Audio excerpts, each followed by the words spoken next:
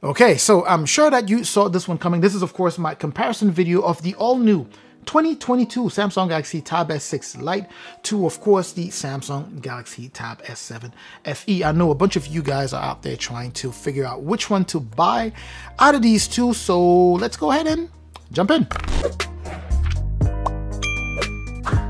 Now let's start off from the top right, starting off with the price breakdown. As of now, the 2022 Galaxy Tab S6 Lite should run you about $350. And this guy here will run you about $530 for the regular price, right? That's a regular price. Now, if you were on the Samsung website right now, you will probably notice that as of now, the Galaxy Tab S7 FE is going for about $450 and that includes an $80 official Samsung case, right? So now let's go ahead and talk design here, starting with the 2022 Tab S6 Lite here.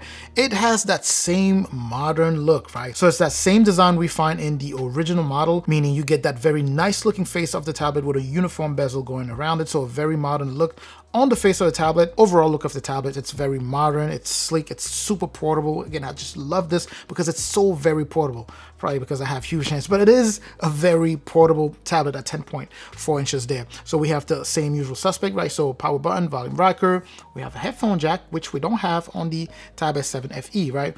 Dual speaker setup here, tuned by AKG, they sound very, very good there. We have some mics going around. We have an SD card slot for the micro SD card. We have a USB USB Type-C port there. Unfortunately, it does not push out video signal, which of course we find here. So that's pretty much going to be it in terms of physical features on the 2022, on the new 2022 Tab S6 Lite here, in terms of physical features. On, of course, the Samsung Galaxy Tab S7 FE, we have usual suspects, right? Power button, volume rocker. We do not, as I mentioned earlier, we do not have a headphone jack. We have mics all around there, very nice. And we have a USB Type-C port that actually pushes out video signal. That is one of the major points that the Tab S7 FE here is going to score over the Galaxy uh, Tab S6 Lite that. We have a dual setup speaker here also, of course, tuned by AKG as well. As you can see at the bottom there, it says tuned by AKG. Sound quality is just as crisp as you would find on the Tab S6 Lite here, but it is louder. That's very, very nice to see. You will also see that you know, with the bezel that you, thin bezel that you see around the tablet, the selfie camera is located exactly where it's supposed to be, right? On the long side of the tablet here in the middle, because everyone that is face calling, video calling, all that stuff, you hold your tablet this way and you'll be able to communicate with the person. Unfortunately, on the Samsung Galaxy Tab S6 Lite here, it is still located at the top, so you would have to hold it in portrait mode. The next thing we have here is we have some pins there for the official keyboard that goes with this tablet. Now, still sticking to just the hardware and design part of it, on the Samsung Galaxy Tab S6 Lite here, you have an 8 megapixel camera on the back there. Same deal here. The Tab S7 FE also does have that same 8 megapixel main camera. What you have there it looks like a flash, but actually is not the flash. So you just have a single camera there on the front facing. You have a five megapixel camera, front facing camera, and you also have a five megapixel front facing camera. In terms of quality, eh, decent quality, right? Nothing really amazing, nothing particularly amazing. When using either one of these tablets is for if it is for productivity it's you know really nice to use them to scan documents and things like that using that main camera. No problem there for sure. Now as far as the front camera the selfie camera 5 megapixel don't expect it to be super impressive. As long as i always give this advice right just make sure that everything is well lit so that people can really see you otherwise you might get a lot of noise so it's always a good idea to make sure that it's well lit wherever you are getting ready to make a video call. Now let's go ahead and talk display real quick here. The Samsung Galaxy Tab S7 FE is boasting a 12.4 inches display. So it's a very large display here and it is a TFT display. It's a nice TFT display and it is one of the biggest appeals of the Samsung Galaxy Tab S7 FE here is just how large it is. Now, don't mind me holding it with one hand. It is actually a very large display. The resolution here is 1600 by 2560. Picture quality, very nice. PPI, it's actually a lot, it's actually more PPI dense than the Tab S6 Lite, right? Because here you have 1200 by 2000 for the resolution and the display here is 10.4 and I believe the PPI here is 224, I wanna say, versus 240 something over here. So picture quality, definitely sharper here than it is here in terms of just movie watching and playing games and things like that. This is much better because it's a larger display, right? But it's a lot more awkward to hold if you were to play games here, right? This one is better when holding to play games, but if you're just watching videos and things like that, this is much better in my humble opinion. And both displays, of course, are laminated, so both are nice to use when watching movies or, you know, playing games and things like that. But since we're comparing both of these, this is definitely nicer than this one. And by the way, if this is your first time visiting, welcome to the channel. Of course, I'm certainly hoping that you are enjoying the content, which if you are, please do me a favor, hit both the like and the subscribe button there. I truly appreciate it. Now let's go ahead and talk performance here. What you have with the 2022 Tab S6 Lite here is a Snapdragon chipset, right? As opposed to the Exynos chip we had on the previous model here. So Snapdragon 720G performance here is actually excellent.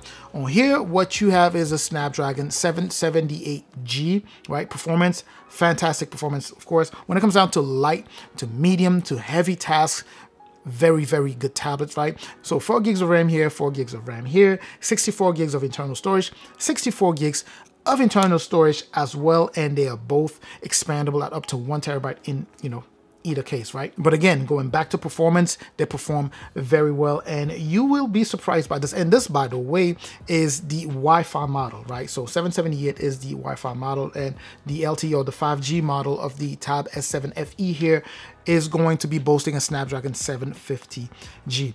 Now, when it comes down to that performance, I'm going to say something that will shock you. The difference when it comes down to performance between this one and the Tab S7 FE is marginal, like very marginal. Like performance is almost the same, believe it or not. At least that's been the case in my testing, right? So they are extremely close, despite this being a 720G and this one being a 778, Snapdragon 778. I'm just saying it's a lot closer than you would imagine. It actually took me by surprise. And I'm talking high productivity things, heavy apps, heavy files, opening and all that stuff. This definitely will get there first but this one will be right there with it, like right next to it. And it's it was very, very nice to see. When it comes down to even GPU performance, in terms of just editing and rendering videos, besides user experience being better on the Samsung Galaxy Tab S7 FE because it's a larger tablet, right? So you're a lot more comfortable playing with it and, you know, editing videos on it. Besides that whole user experience, when it comes down to just like rendering videos and performance and how long it took to, you know, render videos, this was right behind it. It definitely got there first, as I mentioned, but the Tab S6 Lite was right next to it. Now, they both are running Android 12, and what you have here is One UI sitting on top of it, again, with multitasking, you know, multitasking experience is better on the Samsung Galaxy Tab S7 FE simply because it's the larger tablet, right? Especially when you're using like that Samsung DeX and the fact that you do have an official keyboard, you know, that comes with it. You can just snap that in, you know, get your Samsung DeX going and you are pretty much using something that is pretty close to a laptop. Now, I'm not gonna say it's really that close to a laptop, but you know, it gives you that UI, that interface that is similar to that of a laptop. So something to consider there. You can do the same with the 2022 Galaxy Tab S6 Lite here, but again, the user experience is slightly different, especially if you're playing with them side by side. Shifting from this to the smaller display, you will definitely feel the difference. But again, multitasking, all that good stuff, it flows very well on here as well. Now, when it comes down to battery, the Galaxy Tab S7 FE here has a larger battery, so, you know, no surprises there, right? So it definitely lasts longer than this guy here. This one is still brand new, but this one still lasts longer than what you have here. I believe the battery here is the same as what you had on the Tab S7 7 Plus, which was 10,090 milliamp as opposed to 7,040 milliamp here. So gigantic battery, despite performance and all that stuff, it still lasts longer than this. Now, the last point we're gonna touch up here, of course, before closing out the video is going to be the S Pen. So let's go ahead and just brush over that really quick. Both tablets come accompanied with a Samsung S Pen, right? They both work very, very well, just like you would expect from a regular Samsung S Pen from any of the other Samsung tablets that support the S Pen. And these are, of course, not active pencils, so no need to charge. They work right out of the box there, and they do an excellent job at taking down notes or drawing or cropping, writing animated messages, and so forth. Now, let me just go ahead and stop right here and just give you my take. The Samsung Galaxy Tab S7 FE, at first glance, just seems to be so much more powerful than the, you know, 2022 Samsung Galaxy Tab S6 Lite Probably because you look at it and you just think, oh, it's a small tablet, right? And you also remember that the old one had the Exynos, you know, 9611. So you're just thinking, ah, you know, can't really keep up with this guy. But it is very impressive. It's not the same. It's not better than the Tab S7 FE, but the Tab S7 FE is not that much better in terms of performance. Definitely better, but you know, pretty marginal there, right? Now, with that being said, it doesn't mean that, well, you should go ahead and pick up this.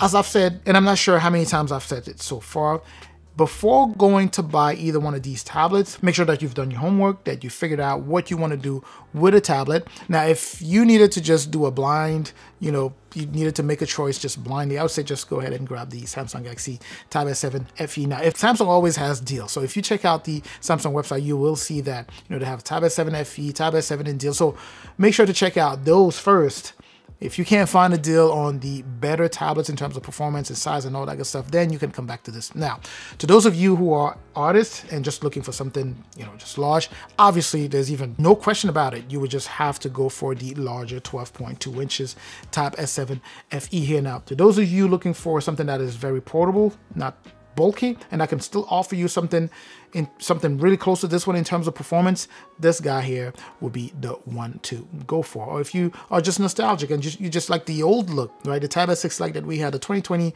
Tab S6 Lite, then you should go ahead and grab this one. That's just my take. But anyway, let me know which your questions in the comment section. I will drop some links in the description for you to check out what the latest deals, what the best prices are currently on either one of these or even the new lineup along with some Lenovo tablets.